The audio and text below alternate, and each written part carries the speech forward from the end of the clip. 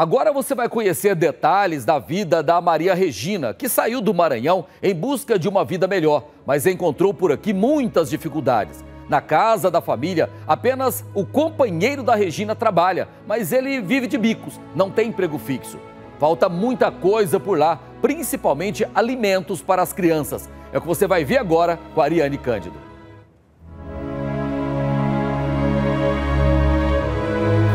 Thales tem apenas 8 anos e já conhece a dor da fome. Paty, onde dói quando a pessoa passa fome? É da barriga. Quando você fica com fome, fica com fome. Não é à toa que na escola a melhor hora seja a do lanche. Tem um almoço para comer lá da minha escola. É a melhor parte para você? É gostosa a comida lá na escola? É, tinha laranja, maçã, arroz.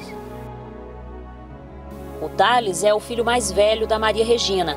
Ela veio do Maranhão em busca de melhorar a vida. Chegou há três anos e, no começo, conseguiu o trabalho. Então, trouxe o Thales para viver com ela e se casou com o pai da filha mais nova, até engravidar e não conseguir mais trabalho. Difícil, sem, sem arrumar serviço é muito difícil, ainda mais para quem tem criança, né? Aí precisa de fralda, leite, alimento, aí aluguel, água, energia, aí complica demais. Só ele trabalhando, aí fica bem difícil.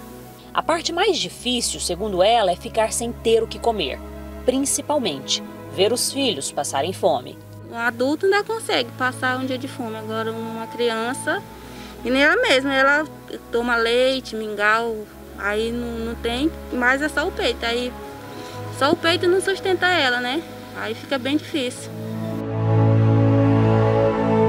Quando chegamos na casa, o esposo da Maria Regina não estava.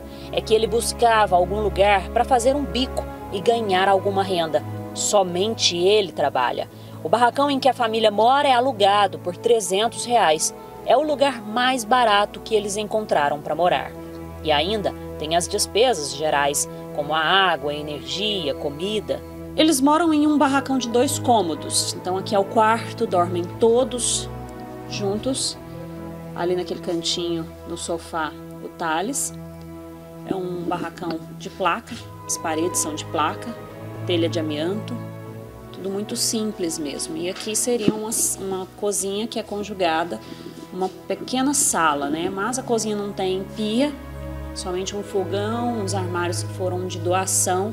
O botijão de gás que está aqui no fogão é emprestado do vizinho que já cobrou isso da Regina.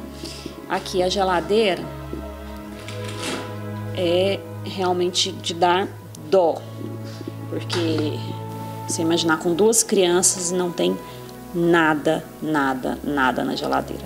Eu quero mostrar o que, que eles comeram ontem à noite colocar para cá, que foi o macarrão que eles contaram.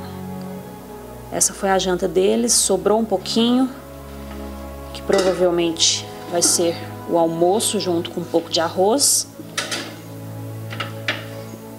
E aqui eles têm uma televisão que também foi emprestada, uma doação de parentes.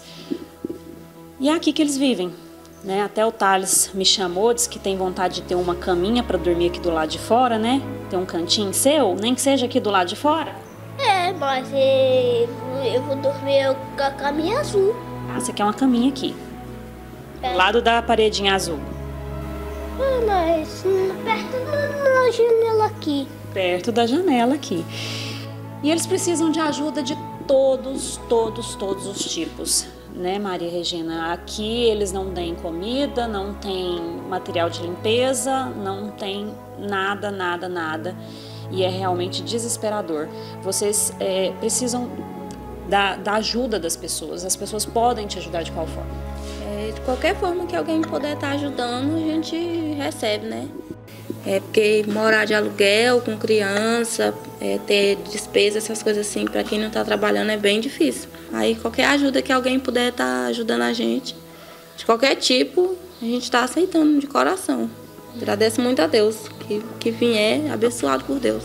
Só mais uma perguntinha aqui para o Thales. Thales, chega aqui.